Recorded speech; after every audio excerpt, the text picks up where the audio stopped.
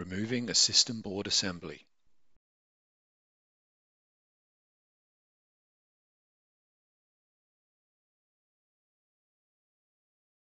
Remove the top cover.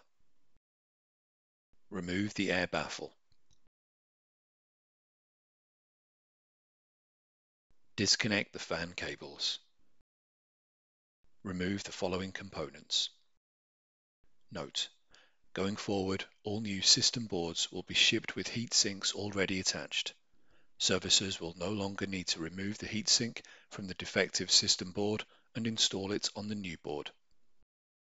Remove the 8 screws that secure the system board.